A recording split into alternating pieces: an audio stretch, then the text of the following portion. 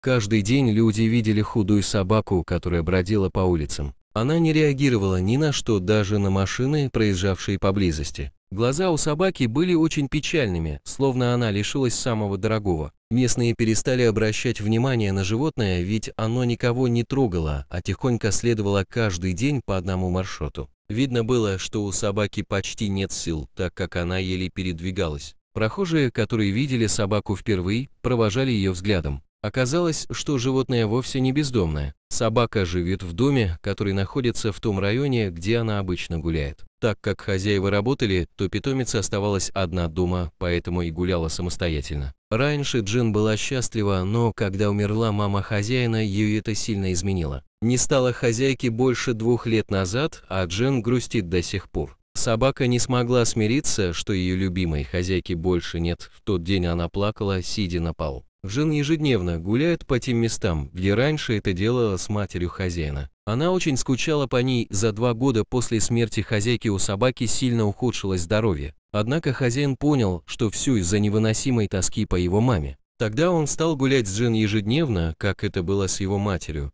Возможно, это поможет залечить душевные раны Джин, и она снова станет счастливой собакой.